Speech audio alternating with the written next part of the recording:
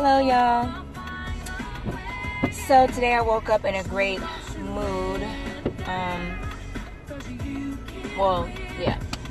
Um, just feeling blessed, you know, feeling blessed um, to have God in my life, and feeling grateful that um, feeling grateful that um, I chose to I chose God. I chose Christ, you know. Um, I'm to be quick. I won't be long. But I just wanted to, you know, encourage those who are kind of in that funny, funky stage, stage, stage where they're like, um, I don't know if I want to give my life or give my all to God yet. You know, it may be because because of how you were raised. Maybe you were raised in the church, and you know, um, you were very. It was very strict, or you know, they they felt like you know you had you couldn't do this, you couldn't do that, and it was just so many rules and stuff like that. Or you know, you may be struggling in an area where you still want to do certain things, and you're like, I ain't trying to get it up yet. Yeah, you know. Um, look, let me tell you something. I have uh, been there and um, I'll just say this I'm so glad that I chose to go all in for Christ. And me going all in, what I've learned, um, it doesn't mean that you have to give up stuff. Like I thought back in the day that the only thing I could ever do was just attend church events or anything that had to do with church. I had that's the only place I could ever ever go. I couldn't do anything, you know, you know, like couldn't drink anymore or you know, or I don't know, I couldn't listen to certain secular music anymore. You know, like or, or I couldn't listen to secular music at all. I'll just I'll say that. Um, and what I'm learning is this. God telling me or um, pushing me i can't say pushing me well yeah urging me to not do certain things has nothing to do with the fact that he um, doesn't want you to live free. He knows you he created you if the, when the bible says that he he knows the number of hairs on your head he knows you very well you know he knows you very well. So much to where he knows the things that causes you to um, be something that is contrary to what He has called you to be. And a lot of times when we talk about who God has called us to be, um, we don't we don't understand we don't understand how important it is to know um, God's identity, know who He is. So a lot of people they really misrepre- they misrepresent and misunderstand God's identity. Um, and look, you're even me. There's still things that I'm learning. Um, there's still things that I'm learning about God. Um, and, and and it's okay. Like you don't have when you come into being a, a Christian, when you come into knowing Christ, you you're not gonna know everything about Him. That's just like when you meet people. Hey, Chris, did I get your name right? It, Chris, right? Hey, Chris, my brother from another mother. But yeah, like when you come into Christ, like you're not gonna know everything about him. You're just you're just not. You're just not gonna know everything about him, and that's okay. One of the things that God, you know, and another thing too is, um, when it comes to like me messing up or doing things that are against His will and His word, there are a lot of things in the Bible that I didn't understand, you know, why I shouldn't do this and why I shouldn't do that. And let me tell you something sin, me living in sin, it taught me why I shouldn't do certain things anymore. Like why I shouldn't get drunk no more. Why I shouldn't be having premarital sex. You know, like it taught me, my sin taught me a lot. So I'm grateful for God's mercy and his grace for allowing me to kind of indulge in some stuff because he was like okay you want to keep choosing sin? All right i'm gonna let you i'm gonna let you indulge so you can see why i don't want you to fornicate. You know why i don't want you to steal you know and all this stuff or lie and you know just all that stuff you know? So i'm just i woke up today just grateful for God's grace and mercy, grateful for His love, grateful for freedom.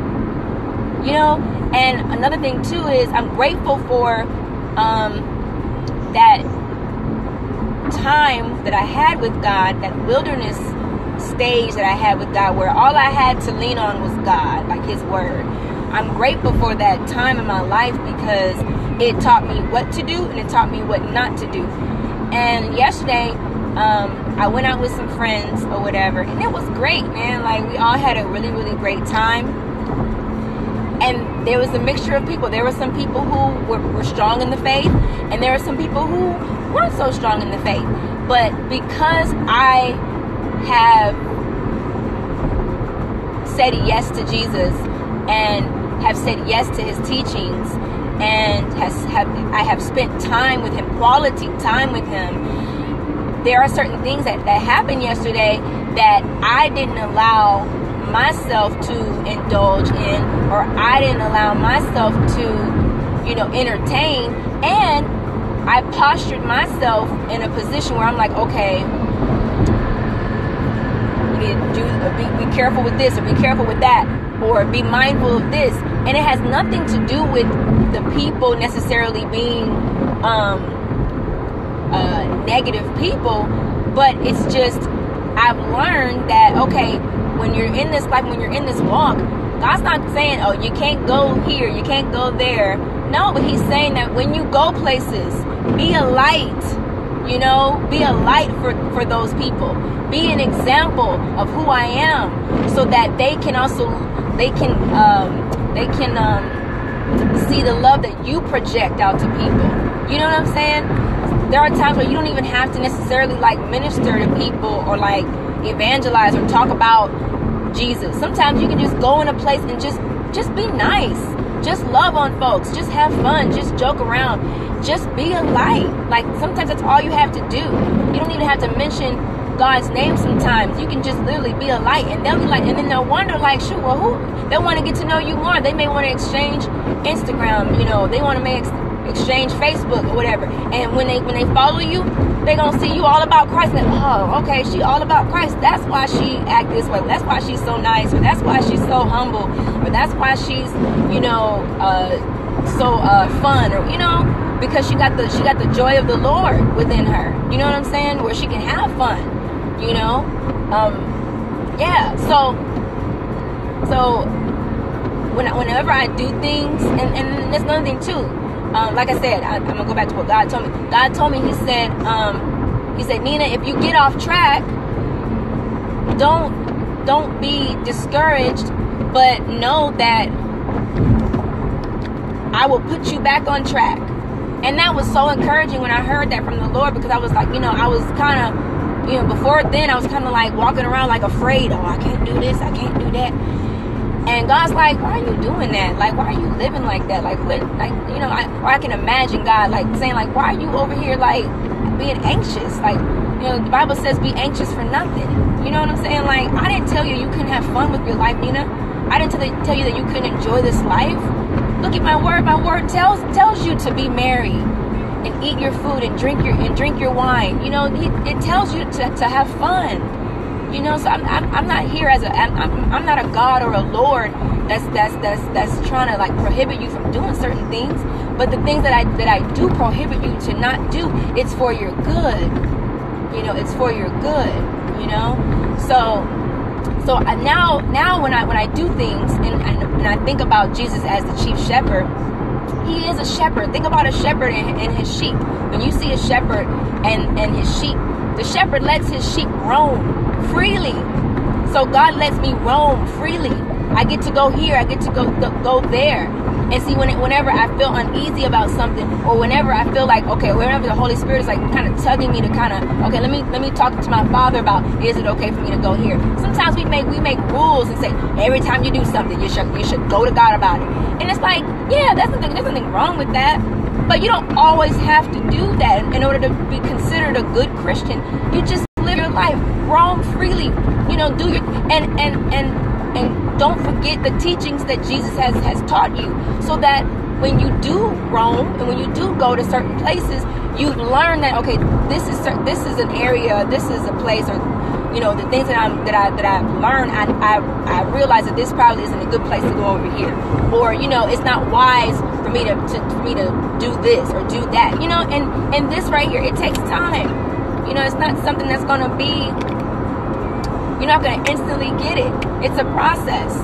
You know, so for for me, the reason why I say I have freedom in Christ is because He allows me to live my life and roam freely. But what I do is I keep my Father in mind in, in every decision, or I try to. I try to keep my Father in mind. Okay, you know, would this be pleasing to, to, to, to the Lord? And see, I don't do it because of a rule. I do it because I have grown to love, appreciate, and revere Him as my Lord, as my Father, as my friend. So, like I said, I live free, but I recognize that there is somebody that is greater than me, that understands things better than me, and that can help me so that I won't fall, so that I won't stumble. And if I do stumble, if I do stumble, it's okay. He'll help, he'll pick me back up and put me back in place. And and, and I won't be condemned because I can't I, I can't be condemned. I believe in Jesus Christ. You feel me?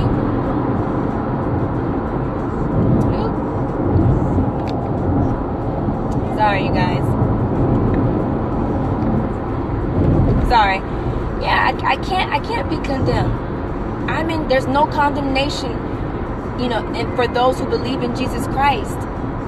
So, you know, at the end of the day, I just I want to encourage my brothers and sisters in Christ who may be on the fence about, you know, because you know we got some people out there who are like the prodigal son who are kind of still out there you know living their life but they they do know that there is a father that they, that they belong to. And they need to come back home. And i just want to you know speak to those people who may be on the fence about giving your life totally to christ like meaning making him your lord. You know you you you you accepted him as that he is the savior that he is the messiah but have you made him lord of your life and I just wanted to encourage you that today to make him Lord. Make him Lord. And and, and don't be afraid to make mistakes. God's get that this is what grace is for. Grace is basically, you know, God giving you that room to mess up, okay? Giving you that room to make mistakes, but he allows you in those mistakes. What he wants you to do is to is to learn from your mistakes so that you won't do it again. Just like with um, Jesus talking to the woman who was caught in adultery. He said, he said, he said, where are your where are your accusers? Okay. And he said, All right, they're all gone. And he said, Look, I forgive you. He said, but look, this this this was where the correction came from. He said, but sin no more. So yeah, you got caught in adultery. Okay, yeah, you messed up. All right, but sin no more. So you know, once that's what that's what that's what God and His grace. When we mess up, God's saying, okay, I give you that grace for you to mess up. Okay, now I hope that you have learned from it, and don't do it again. You know why? You see, you see why I don't want you to do it. You lived it. So now, now that you see why and that you messed up, sin no more. You know. So, anyways, uh, and sometimes that takes people learning it over and over and over again, okay? And look, I'm one of those people, all right? And I just, I'm thankful for God's grace. I really am. But like I said, I do want you guys to live in freedom. I don't want you guys to think that, that, that God is just this, this, you know, you know, He's not that type of God. And this is why this is why we can have the joy of the Lord. This is why we can live in freedom. This is why we can love our God and, and everything that we can do. This is why everything that we can do, we, we give honor to God because we, we, we recognize just, just how awesome of a father we belong to. So I love you guys and I hope that that's helped somebody out here. Um, auntie Wee Wee, hey, love you. My favorite auntie, y'all. All right, um, I'm on my way to work. So I hope you guys have a beautiful Sunday. All right, bye, y'all.